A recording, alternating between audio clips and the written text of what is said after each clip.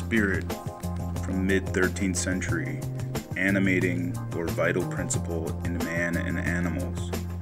From Anglo French spirit, Old French esprit, spirit, soul, 12th century modern French esprit, and directly from Latin spiritus, a breathing, respiration, and of the wind, breath, breath of a god, hence inspiration, breath of life, hence life, also disposition, character, high spirit, vigor, courage, pride, arrogance, related to sperare, to breathe, perhaps from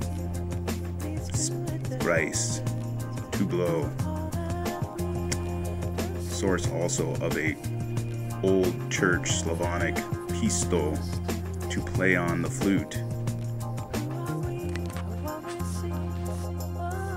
Meaning supernatural, immaterial creature, angel, demon, apparition, invisible, corporeal being of an airy nature, is attested from mid 14th century, from late 14th century as a ghost, from the 15th century as a nature, character, sense of essential principle of something, from late 14th century in alchemy as volatile substance, distillate, from the 15th century as substance capable of uniting the fixed and the volatile elements of the philosopher's stone. Hence, spirits, volatile substance, sense narrowed to strong alcoholic liquor by the 1670s. This also is the sense and spirit level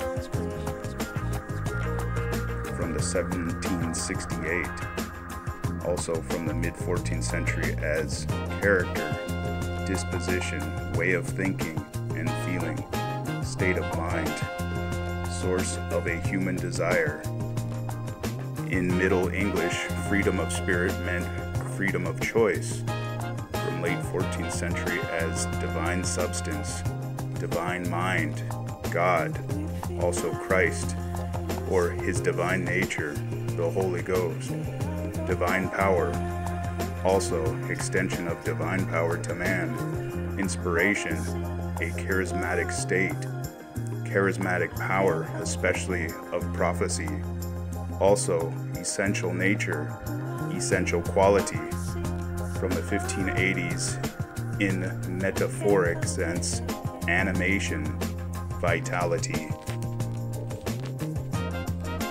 According to Barnhart and OED, originally in English mainly from passages in Vulgate, where the Latin word translates Greek pneuma and Hebrew ruah, distinction between soul and spirit as seat of emotions became current in Christian terminology such as Greek psyche versus pneuma, Latin anima versus spiritus, but is without significance for earlier periods. Spiritus, usually in classical Latin, breath, replaces animus in the sense spirit in the imperial period as periods in Christian writings as the usual equivalent, equivalent of Greek pneuma. Spirit rapping is from 1852.